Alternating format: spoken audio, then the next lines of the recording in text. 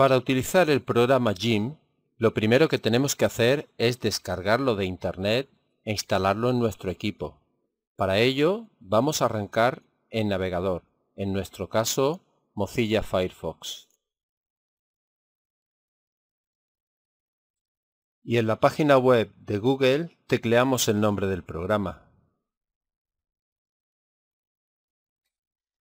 Al pulsar la tecla Intro, nos debe aparecer en los primeros enlaces la página web oficial de Jim. En este caso nos aparece como segundo enlace www.gimp.org. Hagamos clic sobre este enlace. Nos aparece la página web oficial del programa www.gimp.org y un botón Download para descargar el programa. Hagamos clic sobre él. En la siguiente ventana se nos muestran dos botones para descargar la última versión del programa. Uno, utilizando la descarga directa en este primer botón naranja. Como se puede comprobar, la última versión del programa es la 2.8.14.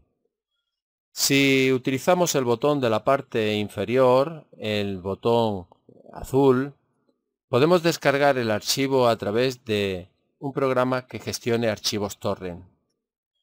No obstante, los vídeos y el manual de este curso están hechos con una versión anterior, la 2.8.10. Si desea trabajar con esta, la 2.8.14, en lugar de la versión que hemos utilizado para el programa, no se va a encontrar con grandes diferencias. Por tanto, descargue la 2.8.14 si lo desea. No obstante, si quiere descargar la versión utilizada en el manual y en los vídeos, en la parte inferior de esta ventana, en este enlace download.jim.org barra pub barra jim barra v2.8 podemos encontrar versiones anteriores de Jim. En la parte inferior tenemos la carpeta Windows Hagamos clic en el enlace. Y en esta ventana encontramos diversas versiones de Jim. En nuestro caso vamos a utilizar la versión 2.8.10, así que hagamos clic sobre este archivo.